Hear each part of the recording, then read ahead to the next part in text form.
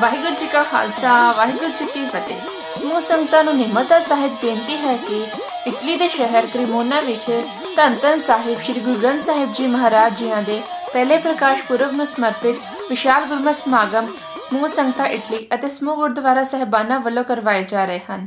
ਇਹ ਸਮਾਗਮ 14 ਸਤੰਬਰ 2024 ਦਿਨ ਸ਼ਨੀਵਾਰ ਨੂੰ ਸਵੇਰੇ 10 ਵਜੇ ਆਰੰਭ ਹੋਣਗੇ। ਇਸ ਵਿੱਚ ਵਿਸ਼ੇਸ਼ ਤੌਰ ਤੇ ਸਿੱਖੀ ਦੀ ਸ਼ਾਨ ਦਸਤਾਰ ਨੂੰ ਪ੍ਰਫੁੱਲਿਤ ਕਰਨ ਲਈ ਦਸਤਾਰ ਅਵੇਅਰਨੈਸ ਡੇ ਮਨਾਇਆ ਜਾ ਰਿਹਾ ਹੈ ਅਤੇ ਨਾਲ ਹੀ ਦਸਤਾਰ ਅਤੇ ਦਮਾਲਾ ਸਜਾ ਮੁਕਾਬਲੇ ਵੱਖ-ਵੱਖ ਉਮਰ ਦੇ ਗਰੁੱਪਾਂ ਵਿੱਚ ਕਰਵਾਏ ਜਾਣਗੇ।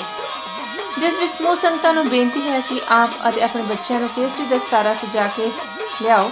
ਅਤੇ ਬੀਬੀਆਂ ਕੇਸਰੀ ਦੁਪੱਟੇ ਲੈ ਕੇ ਪਹੁੰਚਣ।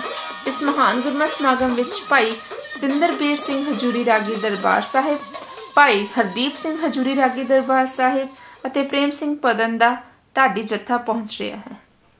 ਸਮੂਹ ਸੰਗਤਾਂ ਨੂੰ ਬੇਨਤੀ ਹੈ ਕਿ ਵੱਧ ਤੋਂ ਵੱਧ ਇਹਨਾਂ ਸਮਾਗਮਾਂ ਵਿੱਚ ਪਹੁੰਚ ਕੇ ਅਤੇ ਧੰਨ ਧੰਨ ਸ੍ਰੀ ਗੁਰੂ ਗ੍ਰੰਥ ਸਾਹਿਬ ਜੀ ਦੇ ਪਹਿਲੇ ਪ੍ਰਕਾਸ਼ ਪੁਰਬ ਤੇ ਗੁਰਬਾਣੀ ਕੀਰਤਨ ਦਾ ਲਾਹਾ ਪ੍ਰਾਪਤ ਕਰਨ ਲਈ ਹਾਜ਼ਰੀਆਂ ਭਰੋ ਜੀ। ਵਾਹਿਗੁਰੂ ਜੀ ਕਾ ਖਾਲਸਾ, ਵਾਹਿਗੁਰੂ ਜੀ ਕੀ ਫਤਿਹ।